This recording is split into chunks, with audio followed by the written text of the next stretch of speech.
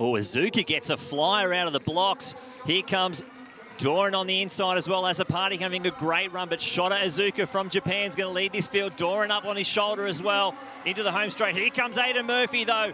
A massive run. Caleb Law closing hard. Murphy gets onto the shoulder of Doran. He's holding on and Aidan Murphy takes the win. That's some tough running there, 21.01.